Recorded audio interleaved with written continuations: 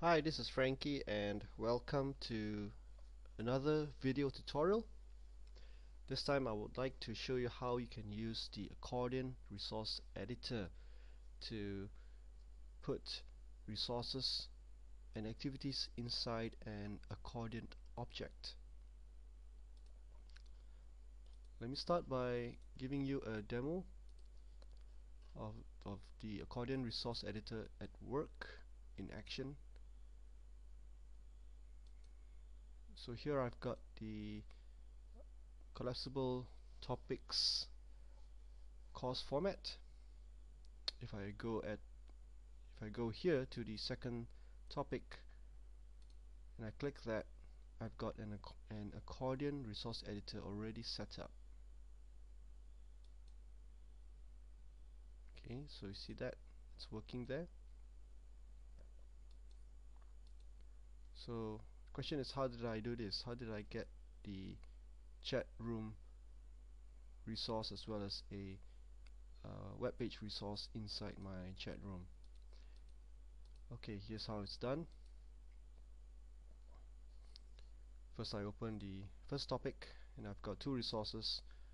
That's the uh, book resource and here's a uh, link link to a web page so let me turn editing on.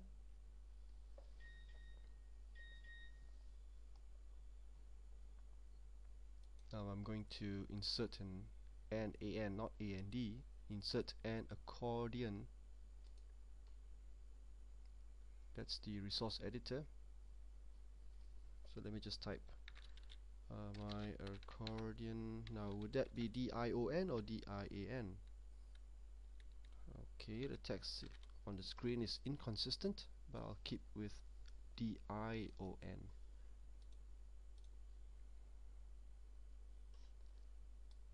okay I'm just gonna save that first.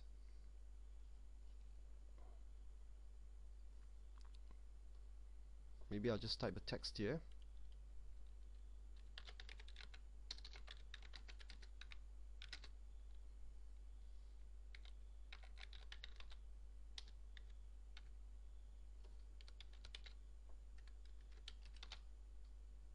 and let's return to the course. Having saved that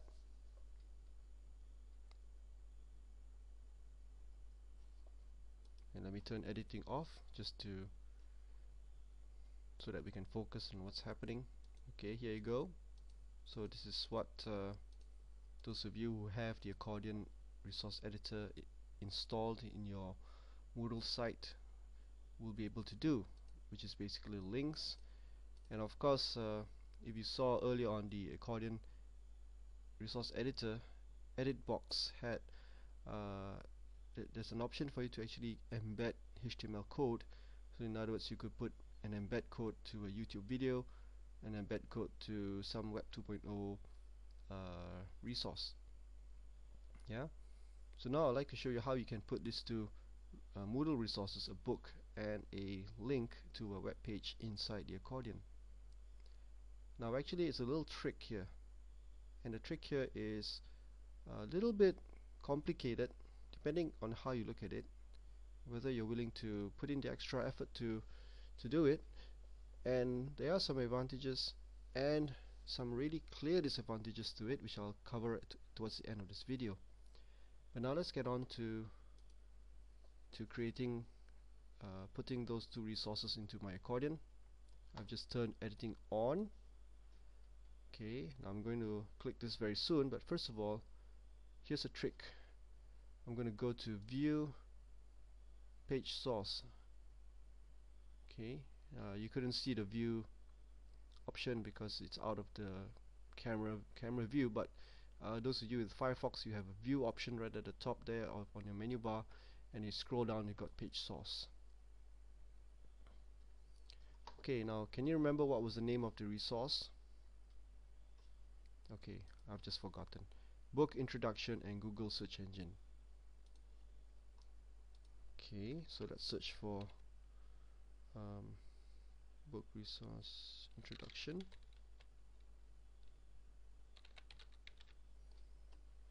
Okay here we go. Uh, right. Now what you do is you copy this whole section from the list open list tag right until the closing of the list tag. Now this highlighted block is of course uh, obviously you can see here it says book introduction. So that's the HTML code for the actual uh, book resource. I'm going to copy that. Now I'm going to go into text document paste that in. Okay it looks pretty messy and probably by now some of you have given up doing this. Nope nope don't give up don't give up. Let's go to format word wrap. Okay now that's easier. Easier to see. Now I, men I, I mentioned don't give up because you need to go step by step. So stick with me and uh, at the end you'll be able to do this. So what I've done was uh, I pasted the code the HTML code for the book resource into the into this uh, text box here. Is notepad uh, text window. And I turned the format under format I turned off the word wrap. Why would I want to do that? Well because I want to see clearly the uh, the meat in the hamburger okay? This is like a hamburger. That's uh, open this tag close this tag now I'm just gonna delete off the hamburger. Okay the Pink Panther would pronounce hamburger in with a French accent. Uh, that's a little joke there. Reference to Steve Martin. Okay now that's done. Now what about the other resource? What was the other resource? Well the other resource is this one this code here. Okay if I were to scroll right there you can see that it's the uh, Google search there you go. Okay it's a link to uh, this whole code is actually actually the, the Moodle resource which is the uh, re uh, web page. I'm sorry link to a web page resource. So again I'm going to copy that and put it into I'm sorry not that one this one. Put that into uh, text the, the notepad window. Again I've copied and pasted that section there. Now we're only interested in the first line and the last line of the li tag. Now this the burger uh, the meat of the hamburger so to speak that's basically just the editing uh, commands move right move left update delete and hide. Okay so I'm going to uh, delete that. And maybe I'll put one more just to show you what what, hap what, what happens when you actually put that code in there. And and let's say if we don't delete this what happens next? Okay. Right. Now next thing I'm gonna do is I'm gonna put a uh, unordered list tag. That's the open unordered list tag and then the uh, front slash ul just to close the unordered list tag. Next I select all and I copy this code. Yeah I told you it was complicated but it's not that difficult right? So far you're following me? Okay don't give up yet because we're going to uh, see the end of the tunnel soon. The light at the end of the, of the tunnel is coming soon now go back to the accordion object click on the update icon. So make sure that you click on the uh, HTML toggle button. So right now I'm in text mode or basically HTML mode. Paste that in. Save and return the course. Let's see what happens. Keep your fingers crossed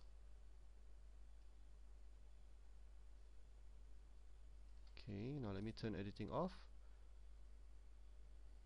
Okay. Aha there you go. See that? Aha. Now the thing is how did I manage to get rid of the bullet point here? And what's this bullet point doing over here? Well the bullet point is because you've got the L li which is the uh, list tag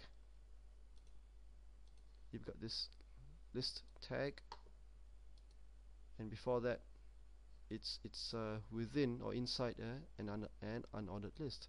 So the unordered list tag will give you a bullet point for every li tag.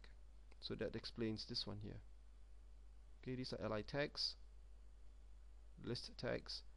And uh, because it's an uh, it's under an unordered list each of the li tags will be preceded by a bullet point. Now how did I get rid of the bullet point? Okay here's here's the uh, another trick. If you really want to get rid of the bullet point and, and I do because it kind of kind of um, clutters up the screen a bit. Well the trick is to put in uh, the trick is to put in something like this. Okay it's a class being defined so we use the cascading style sheet code to redefine the UL tag. And let me get back to the editing mode. Okay. Let's click on the edit accordion button. Again go to the HTML toggle button. And this time I'm going to put that in. So now you can see that that's uh, uh, ul space class equals open double quote no underscore dot underscore list close double quote sharp bracket close. Uh, this one here that the name of the class of course you can put in any name but I'm putting a descriptive name there and let me show you what the class looks like. But first let me save this and return the course. I hope you're still following me. We've not reached the end yet but we're close to it. And now as you can see uh, the bullet symbol is gone. So what happened? Or where was the class defined? Well let me show it to you well here I'm using here I'm using uh, FileZilla FTP client. So let me just uh, reconnect back to my to my server. Okay http docs scm let's go to my theme folder. Now I'm using the isometric theme.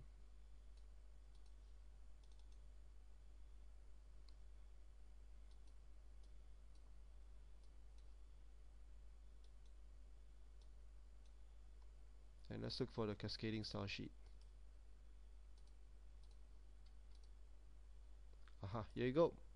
Isometric.css that's the style sheet cascading style sheet for this theme and since I, I like this theme so much I'm just going to edit the this CSS and not the CSS of all the themes in my site.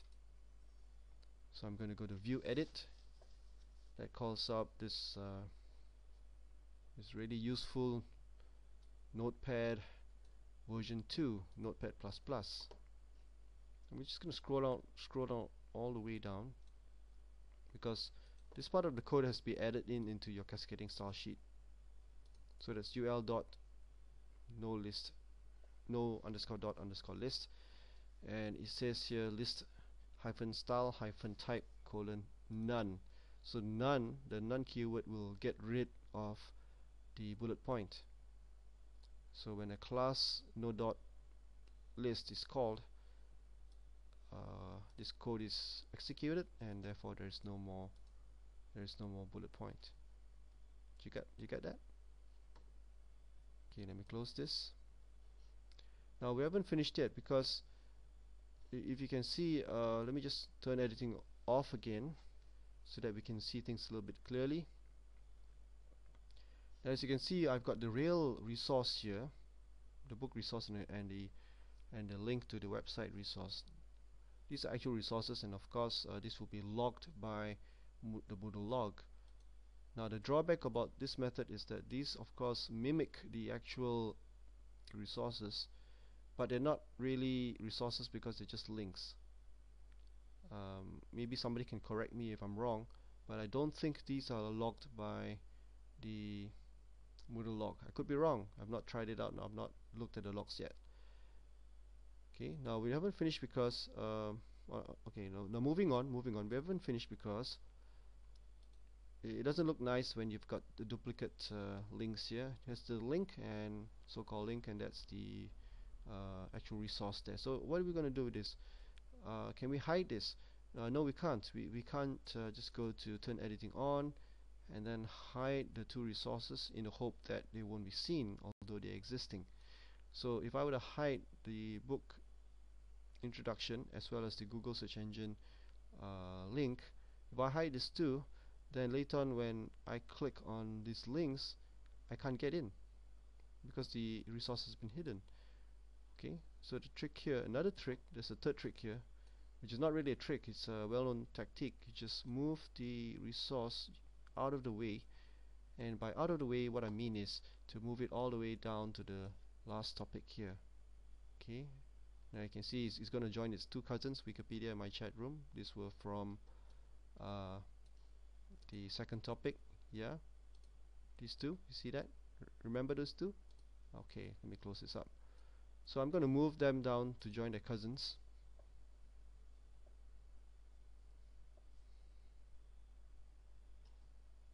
Okay so they've been uh, quarantined.